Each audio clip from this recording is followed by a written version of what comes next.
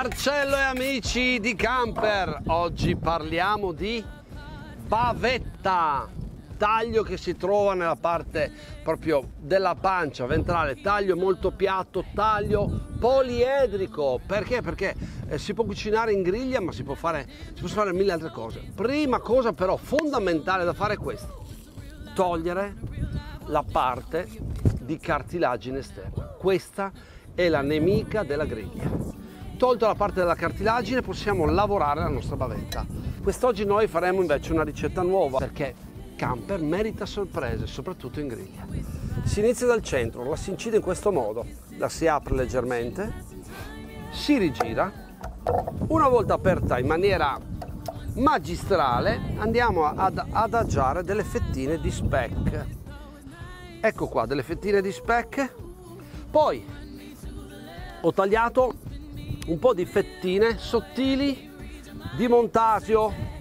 Ci manca il colore. La rucoletta è una delle verdure di accompagnamento di stagione eccezionali. Pizzico di sale, non molto perché abbiamo già lo speck che arricchisce di sapidità. Rigiriamo su se stessa. Possiamo scegliere di fermare la nostra bavetta con lo spago, legarla, oppure con gli stecchini. Teniamo gli stecchini a una distanza di circa due dita. Questo ci permetterà poi di fare questa operazione, vedete?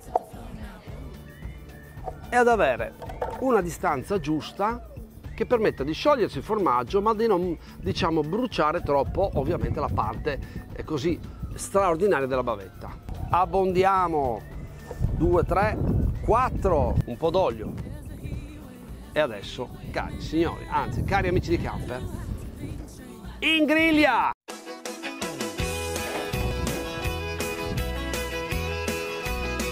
Questa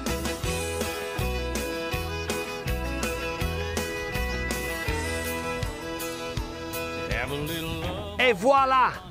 La bavetta è pronta quando ci accorgeremo che il formaggio si sta sciogliendo in maniera da filare, guardate si vede lo speck, il formaggio che si scioglie, c'è il verde della rucola e noi ci siamo fatti un piatto dove ricordiamoci che questa, questo taglio anatomico eh, etico e soprattutto economico non ha bisogno di cotture prolungate. Fiocchi di sale, che quelli non devono mai mancare, soprattutto alla fine della cottura.